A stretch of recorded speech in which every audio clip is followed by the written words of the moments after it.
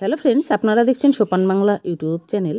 রাজ্য তথা গোটা দেশ জুড়ে চলছে চতুর্থ দফার লকডাউন তো পশ্চিমবঙ্গের জন্য কী কী নিয়ম রয়েছে সেই বিষয়ে গভর্নমেন্ট অফ ওয়েস্ট বেঙ্গল আঠেরো পাঁচ দু হাজার কুড়ি তারিখে একটি বিজ্ঞপ্তি প্রকাশ করেছে। তো আগে রেড অরেঞ্জ গ্রিন জোনে ভাগ ছিল। এবার কিন্তু পোলিং স্টেশন বা বুথ ওয়ার্ড বা গ্রাম পঞ্চায়েত হিসেবে কিন্তু ভাগ করা হয়েছে।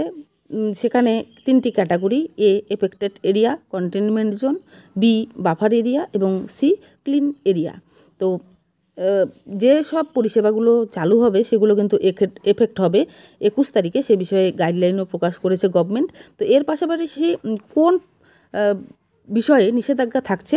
দেখুন the following activities shall remain closed throughout the state all school college technical institutions ICDS centre to remain close till the second week of June two thousand twenty অর্থাৎ সমস্ত স্কুল কলেজ টেকনিক্যাল প্রতিষ্ঠান ICDS centre এগুলো কিন্তু বন্ধ থাকছে জুনের second week পর্যন্ত, অর্থাৎ চোদ্দ তারিখ পর্যন্ত। যদিও চোদ্দ তারিখ রবিবার রয়েছে, তো এর পাশাপাশি খোলার বিষয়টি কিন্তু আমরা পরে জানতে পারব। নিশ্চয়ই গভর্নমেন্ট সে বিষয়ে অর্ডার প্রকাশ করবে।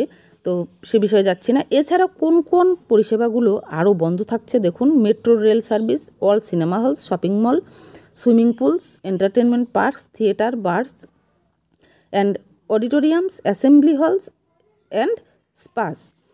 All social, cultural, religious and political gatherings. এগুলো কিন্তু সমস্ত কিছুর উপরেই নিষেধাজ্ঞা জারি করেছে। তো এখান থেকে যে বিষয়টি স্পষ্ট হলো যে সমস্ত শিক্ষা প্রতিষ্ঠান কিন্তু আগামী চোদ্দ তারিখ পর্যন্ত বন্ধ রয়েছে।